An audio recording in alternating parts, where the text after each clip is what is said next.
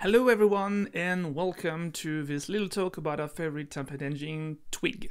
This talk is about going through the engine itself a little, talking about what's cool and useful to know about it, and giving you a few tricks when it comes to using it if you don't already know them. Uh, this is a shorter version of a one hour long talk I'll publish soon, by the way. And if you already know everything, just try to get all the puns on the slides. So, first of all, before we go down the rabbit hole, a couple of words about me. My name is William Pinaud. I'm what you would call a ninja, in the sense that I'm a web architect, lead developer, agile coach, solutions architect, etc. Got 14 years of experience in IT, mostly with web development and architecture.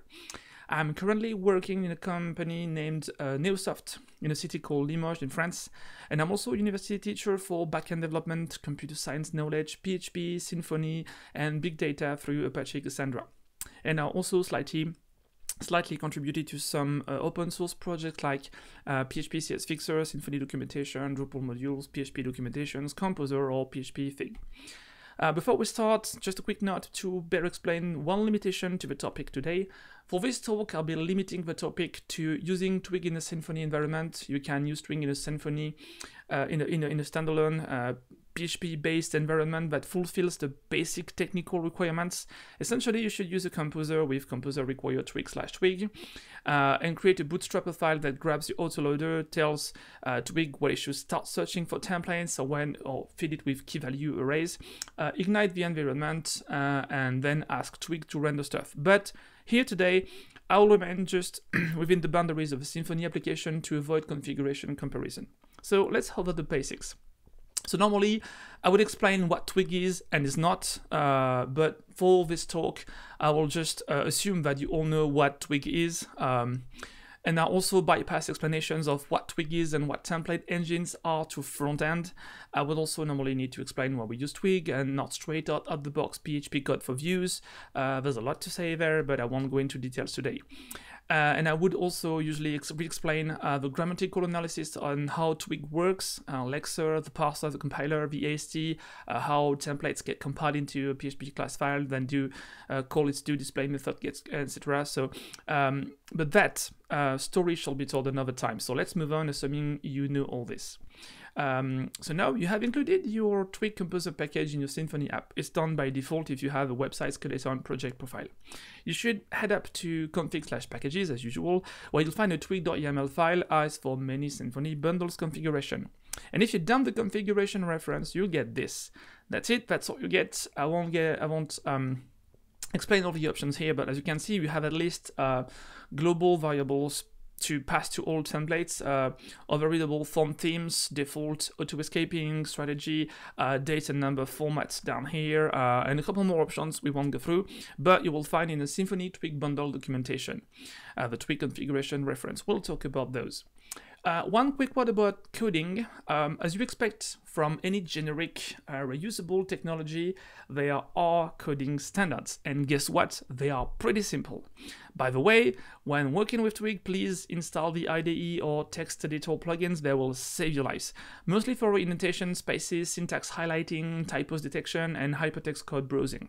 Which leads this, by the way, please do auto-format your Twig templates. Twig shares this problem with HTML for most developers. It almost never gets formatted correctly, which unfortunately um, uh, doesn't happen to everyone, but fortunately stuff like PHP CS Fixer or PHP Storm, for example, do correctly under one second for your whole project. Unfortunately, PHP CS Fixer um, doesn't work for non-PHP code, but there's a side project uh, with TwigCS, which is designed to be the equivalent, though it's not official. Oh, and if you don't already know it, uh, you can execute uh, live your Twig code on a side project named twigfiddle.com. You can test Twig versions, store your code snippets, and even test several templates at a time. It's a great tool, especially if you want to try the Twig certification. If you want to know more about it, just head up to certification.symfony.com. So now let's see a few things that might catch your attention. The first thing I'd like to talk about is pretty straightforward, string expression interpolation. Most people usually forget about that, mostly because strings are already processed while in templates, and also mostly because it's hard to mix with translation strings. I think the other reason for that is that it's not that intuitive for uh, PHP developers to use the, the sharp character to uh, start variables, as starting with um, sharp plus brace here is very close to brace plus sharp, which actually starts commands in Twigs, but this works. Second thing I'd really like to stress here is the absolute lack of defensive programming I see too often in Twig templates. You simply cannot have your templates crash and produce fatal errors, especially since their code is supposed to be way simpler than Model's code, and Twig has plenty of tools for that. Uh, just since you cannot use strong typing like you would do with PHP 7 and 8, you have to assume that your templates can fail. So you can use, just like here, the is defined test, the is not empty test, the is iterable test, use them. They're ridiculously low cost, have their rewards. You can also use the default uh, filter, which handles empty and undefined variables. You can also add the ignore missing options to the include tag. And remember, you cannot trust anything, anyone, nowhere, not even yourself. The only way to prevent failures are hard typing or locally checking whatever you're using, which you should do with Twig. Um, one very, very common thing I see is forgetting about what the slice filter does.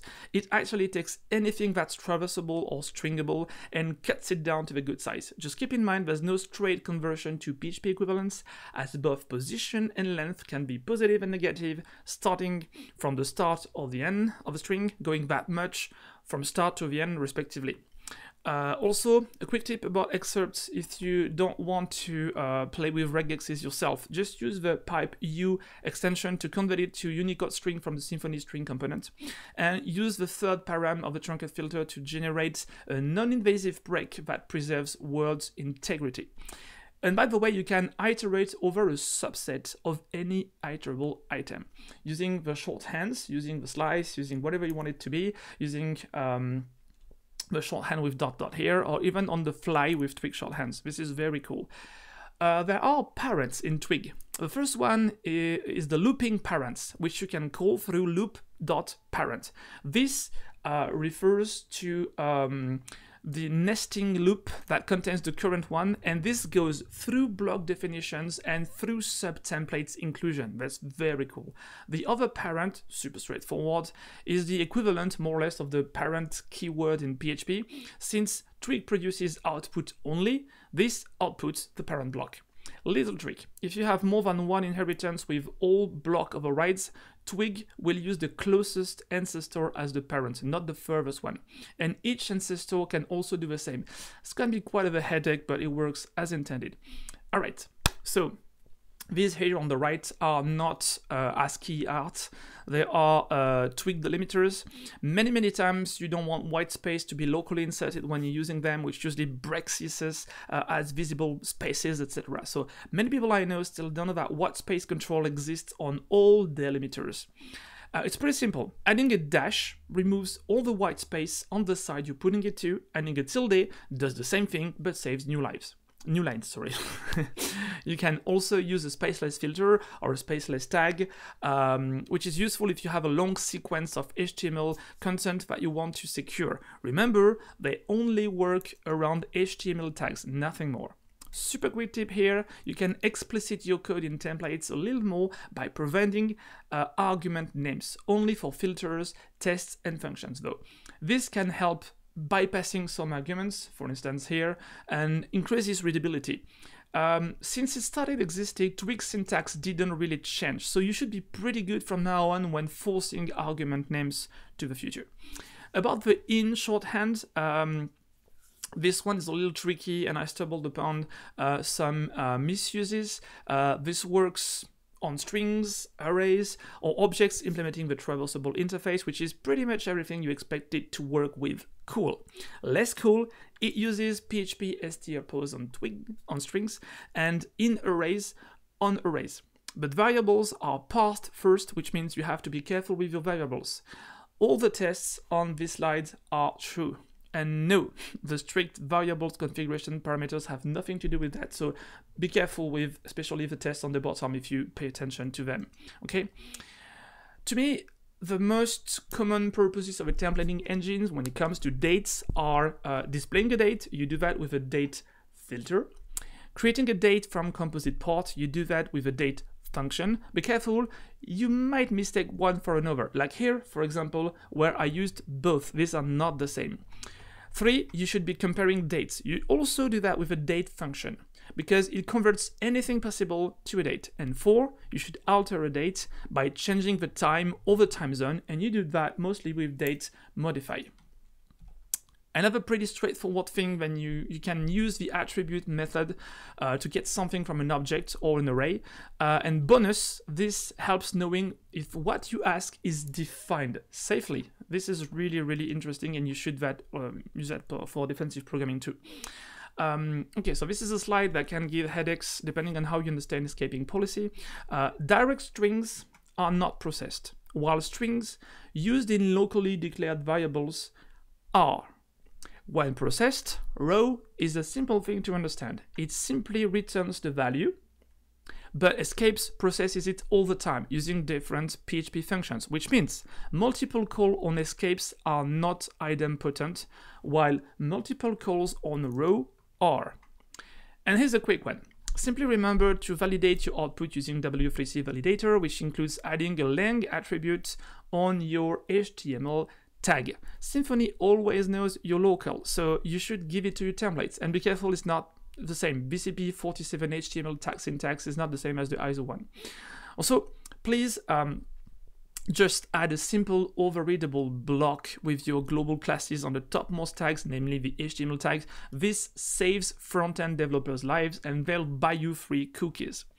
A quick SEO tip, um, you'll stumble upon pages with varying URLs uh, where everything will be different for the same HTTP request, like search results, paginating contents, or simply having two URLs for the same content, like Drupal's uh, slugged and non-slugged URL, for instance. And for that, you can use the rel attributes on link tags and specify that your URLs are uh, canonical uh, to another specific one it is okay, by the way, to target the current URL. So with this little trick, uh, you will have your app be less of a, a haystack of path wires for SEO. Um, Twig has a cycle function uh, this seems pretty restrictive, but it can help. Uh, the common uses for that could be uh, browsing anything that is paper made and folded uh, with left and right pages, adding parity classes and attributes to HTML, or handling, um, handling HTML static uh, flex and grid classes. Uh, for example, when you have to, to have items that differ from others marked through HTML instead of CSS counting, for instance. Another quick tip, you can test if blocks are defined and within reach of current context, of course. This is a pretty common mistakes, uh, including blocks without checking that they exist. Overriding one is never a problem as Twig considers that at worst you are defining a new one instead. And by the way, uh, this here is the syntax to output a block anywhere, uh, even if the same template you previously defining into, which is cool. One quick thing about includes, you can use a ternary condition on a tag. For instance, if your website has a regular version uh, and an eco-friendly version with a very light ecological imprint, you can pass your info to your templates or take it from the cookies or request path, etc. and use it to change your layout, just like this.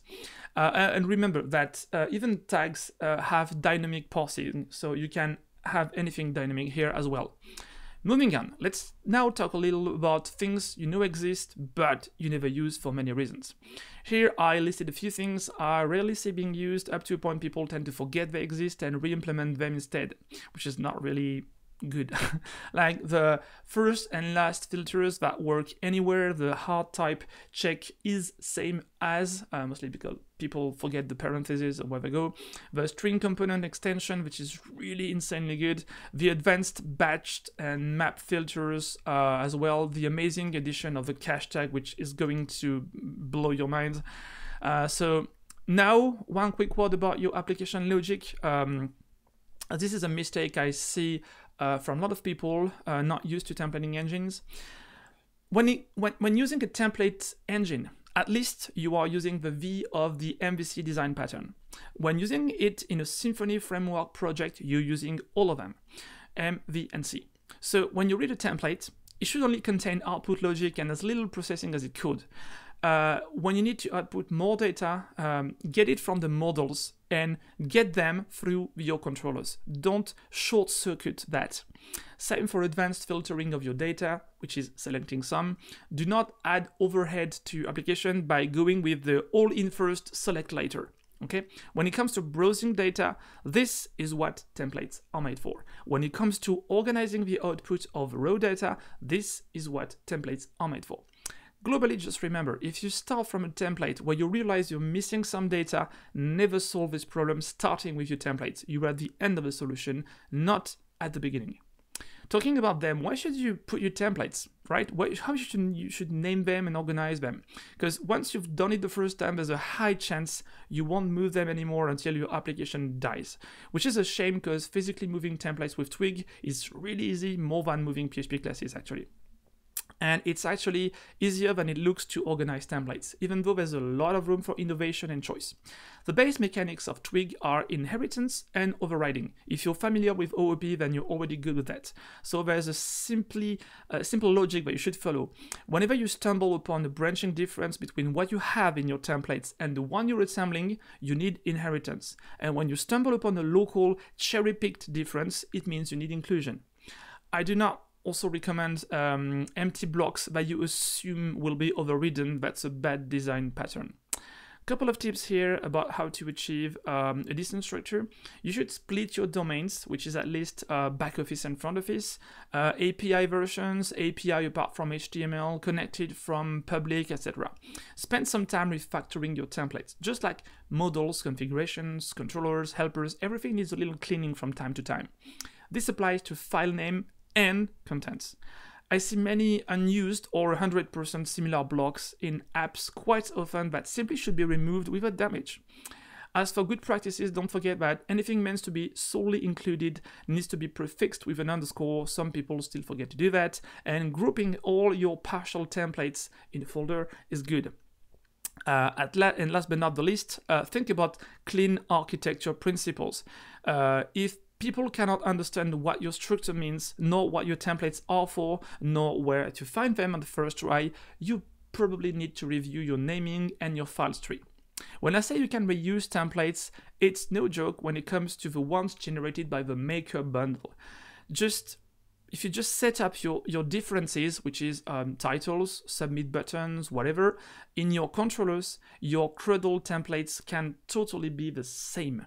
With five doctrine entities, this goes down from 30 down to 6 templates. With 10 entities, this goes from 60 to 6. Do I need to go on? no.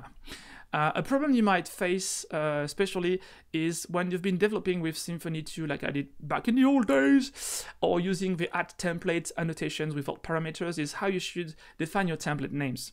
One quick tip I can give you is that you should uh, separate your controllers in directories, groups by use, or domain, hello CQRS and DDD, um, and have those domains reflected in the templates directory as well, which means you should have the same directory uh, in both places. Um, so that they follow the same logic. You can do this using the Symfony Maker bundle, just add the prefixes and it will understand what you want to do. Uh, on the other side, don't be afraid to use directories. Here I just uh, separated front office and back office controllers, for example. By the way, I do appreciate this, this practice. Um, don't let mixed um, admin and public routes in the same controllers. And keep framework dependent directories as they are generated. Like the security subdirectory can be moved, but everyone expects it to exist and will search there first for everything security related. Another quick HTML trick, you always need to provide accurate metadata. Part of them are generic, application-wide, and most of them can use default values with little to no referencing damage. So you should have a global HTML meta block inclusion with basic HTML metadata like HTML5 meta or Open Graph meta and one another one with special data from social media at least and I do recommend creating a specific template for each use. This also goes towards clean coding. Uh, so now we have Twig. We also have Symfony, but everything is decoupled. So as Symfony frameworks adds Twig, you need a bundle to integrate it, the Twig bundle. And then we need something between both of them. This is called a bridge, connecting both worlds, the Twig bridge. Let's take a look at a few things they bring to you. When it comes to URL generation, the bridge provide uh, URL and path functions. Unless you have different limitations, um, try to generate absolute links all the time with URL. Doesn't make a huge difference, but you can definitely help uh, solving SEO problems. If you want to access Twig anywhere, just make sure you're supposed uh, regarding your application logic and structure. Thanks to a couple of tools like uh, PHP 5 autoloader, PHP 8 promoted constructor, and Symfony 4 auto wiring, the, depend- the dependency injection just works like a charm like this. Uh, dumping stuff with Twig is easy, but it might be it might be misleading. When working with Symfony, the PHP dump function will come from the var dumper component, while the twig dump function will come from the twig debug extension. Not the same. Oh, and by the way, you can provide one or several arguments. It will dump them sequentially uh, or no arguments, uh, in which case it will just get all the current context. Uh, when it comes to theming forms, this can also be a lot of work to do. Uh, fortunately, Symfony is uh, embedded with form layouts that actually do the stuff for you. You can change them globally in your configuration, and you can locally override the value. To create your form theming, you should inspire from um, existing ones. You'll never rewrite them completely. So you should copy them, see what you need to change, and then extend the new one in your form template. By the way, this is slightly off topic, but I do recommend that you check out Opquast uh, web quality guidelines when it comes to forms. First thing I can tell you about it, do not forget to provide placeholders and descriptions with filling guidelines for your fields. This is mandatory. One cool thing about the Twig bridge is that it automatically uh, adds global variables you know you'll need. Through this global app, you'll have access to the current user, session and security token, HTTP request, flash messages, current environment name, and debug mode status. I've seen some people try to reinvent those, so I thought it might be useful to include this slide. And there are about 40 more additions uh, from the Twig bridge, but unfortunately I can't be talking about all of them today. Uh, so what happens when you intend to use something specific in an app that's not obviously included within Twig? Guess what? It's normal. It happens all the time, and what that's why many GitHub uh, issues get closed while having a potential of usefulness, because Twig cannot cover all app use cases. Otherwise, you would burn your RAM modules while trying to load it. Fortunately, Twig is aware that you might want to extend it. More than this, it actually exposes a whole API for that. So instead of hacking the core, you simply have to write extensions. Uh, in Symfony, when developing your own app, you should place them in SSE slash twig, and the Maker bundle can quickly do that for you. If you're using Symfony auto wiring, you have nothing else to do. First, macros and globals. Um, Macros are defined uh, in templates that you can import, basic, simple, within the globals. Uh, when you go down the rabbit hole, Alice, uh, you can use an extension to add functions, filters, tag, operators, and tests. Just be careful to understand what they are so you don't misuse them. Filters are the easiest. They alter output from a given input. Functions are often used to bring something new, uh, but since your new stuff should be coming from controllers, it means generating stuff spontaneously. Uh, tags, operators, and tests, I'd rather say you can, but hey, you don't need them. Uh, trust me, it's not the easiest thing to do, and you really don't want to. As we have seen above, if you want to add global variables, this is the way. In a, an environment-specific or global configuration file, there's a twig.globals key, and there you'll define your key value custom globals. You can use this for metadata defaults, uh, file upload paths, or simply passing environment variables to Twig, like your CDN URLs, for instance. Um, if you want to see what it gives, uh, here's an example that comes from the Symfony UX component from chart.js. As you can see, this is nothing but an extension. It has a unique name. It uses get functions to uh, add functions, declare a new function name uh, for Twig, and binds it call um, to uh, a PHP function, and you're done. Same here, with this time with a Stylus commerce, uh, you inject um, external dependency on the constructor, and you pass it through your new Twig function declarations. You can define the method to be called the PHP PRA way, uh, just like this. And also, if your callback handles output safety, you can tell if you're certain that your output is safe uh, for which escaping strategy. This one, again, comes from OroCommerce, same again, declare a get filters method, and this time you add filters to Twig. Exactly the same way your parameters will be passed to your callable. You want another one this, in, this time for Symfony UX Dropzone. A little more complex here. This is not a Twig extension, but a Symfony kernel dependency injection extension. Here we process the Twig bundle configuration uh, to inject configuration inside regardless of what is in the YAML configuration file. This shows that you can make a bundle that handles part of Twig configuration by its own. Now you can also provide many more options I won't detail here, but like a callback to determine whether the output is safe or not, uh, uses variadic arguments, is deprecated, etc. This comes, for example, from Drupal 9 source code. If you're using Drupal, you should be familiar with those use. One last thing to conclude, I'd like to illustrate a very common need, the need to customize arbitrary pieces of HTML anywhere on the website. Uh, a mechanic I'll simply label custom content blocks. What are they? They're something you have to have faced at least once in your life, allowing your administrators to edit parts of the website that are not URL bound, which means editing parts of HTML output that can be used and reused at different places. I added a few examples here. Uh, feel free to uh, pick up whatever the ones ring the bells um, to you the most. You can actually include that in almost 100% of your project, especially on commercial websites and project uh, showcase websites, guaranteed. So how do you achieve that really quickly using Symfony and Twig? So first you define keys. Those keys are custom content block identifiers. You set up those keys in a static array. Why? Because users and users cannot declare HTML customization anywhere. Uh, those keys also become translation keys for the back office administration and will feed a drop-down field for your forms to choose which blocks you're creating. Of course, this is persisted, so you need to set up a storage space, mostly in a database. So let's create a Doctrine entity and make use of a maker bundle to generate CRUDL and restrict it to admin only through the firewall.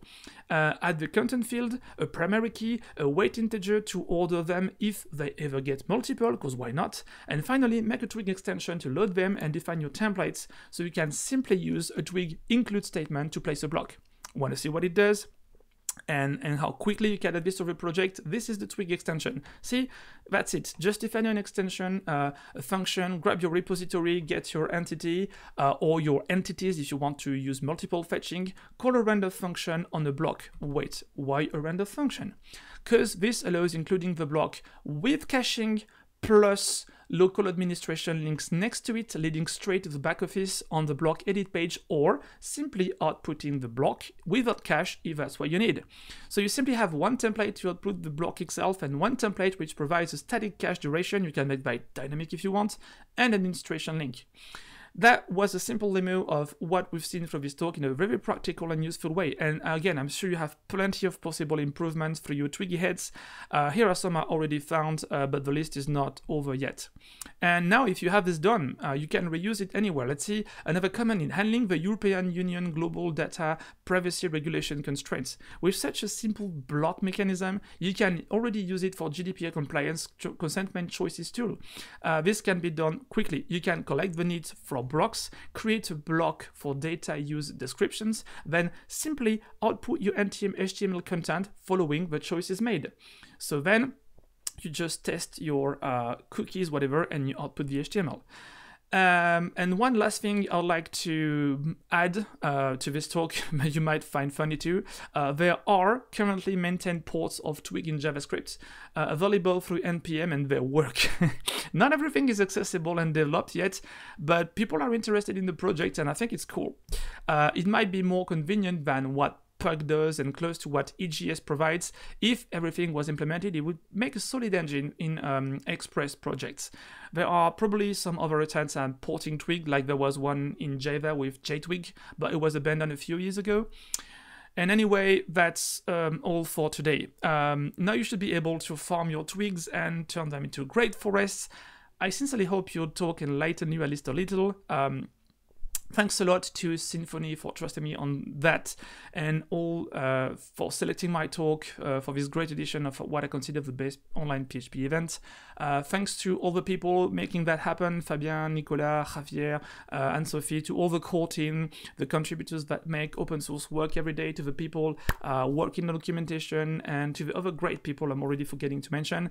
Last but not the least, um, very special thanks to Titouan Galopin. Life is hell of a ride, buddy. And finally, thanks a lot to you all. If you are still alive after this, I'll take your questions and see you in space.